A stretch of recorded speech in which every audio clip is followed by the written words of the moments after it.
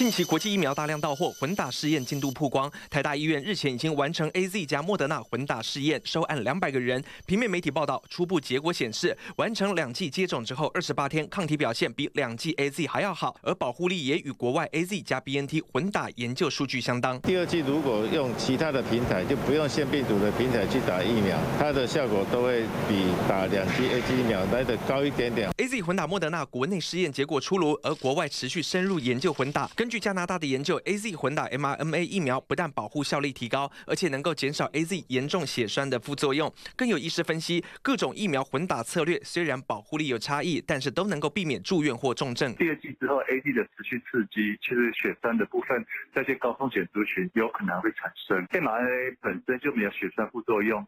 对它的一个两地混打，本来就不一定会造成学生的风险上升，这个下降是可预期的。不过目前国内只有开放第一类对象医师人员可以混打 A Z 加莫德纳。随着国内试验结果出炉，国外的研究也不少。到底何时开放让一般民众混打？另外是否开放 A Z 混打 B N T 也备受关注。我们还要在研究进货的一个情况，我们还是要先满足哈实际上需要的人，啊，先把这一部分就是说同一剂的好先满足了。民众想要混打提高体内保护效力，似乎还得再等一段时间。记者陈玄白、王一仲台北报道。